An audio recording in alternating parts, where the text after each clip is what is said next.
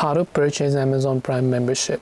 Hey everybody, welcome back to our channel. In this video, I'm going to guide you through the steps on how you can purchase your Amazon Prime membership. So make sure to watch the video till the end. Now, if you would like to purchase your Amazon Prime membership, the easiest way to do it is to simply open up your browser and then just go to amazon.com slash Amazon Prime. I will also make sure to drop a direct link in the description box below. When you go to amazon.com slash Amazon Prime, you'll find this type of toggle where you have to make sure to log into your Amazon account.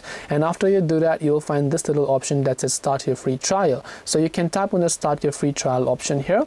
Then all you have to do is just make sure to enter your credit or debit card by tapping on add a credit or debit card option. And once you've done that you just have to make sure to enter your card number and then the expiration date and the year the security code then tap on add and continue. And after you do that you'll be able to go ahead and then basically finish up with the changes. This way you can purchase your amazon prime membership. The download the link will be in the description box. Hope this video helped you. If you have any questions, feel free to leave them down. Thank you for watching and see you soon in the next video.